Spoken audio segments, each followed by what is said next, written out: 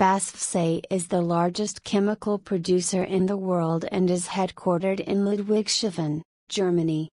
The BASF Group comprises subsidiaries and joint ventures in more than 80 countries and operates six integrated production sites and 390 other production sites in Europe, Asia, Australia, Americas, and Africa.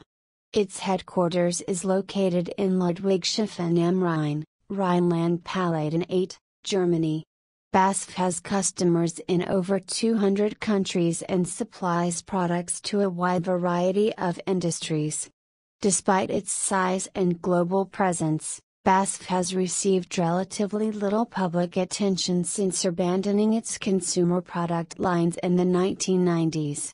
At the end of 2014, the company employed more than 113,000 people, with over 53,200 in Germany alone. In 2014, BASF posted sales of 74.3 billion euros and income from operations before special items of about 7.2 billion euros. The company is currently expanding its international activities with a particular focus on Asia.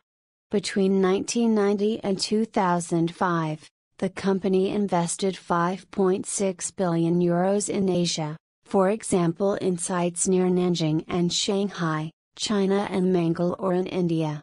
BASF is listed on the Frankfurt Stock Exchange, London Stock Exchange, and Zurich Stock Exchange. The company delisted its ADR from the New York Stock Exchange in September 2007. The company is a component of the Euro Stoxx 50 stock market index.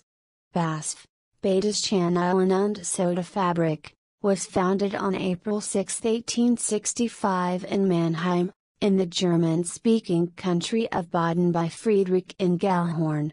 It had been responsible for setting up a gasworks and street lighting for the town council in 1861.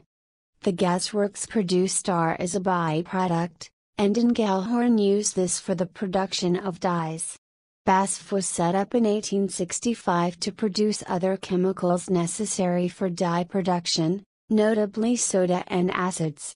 The plant, however, was erected on the other side of the Rhine River at Ludwigshafen because the town council of Mannheim was afraid that the air pollution of the chemical plant could bother the inhabitants of the town. In 1866 the dye production processes were also moved to the BASF site.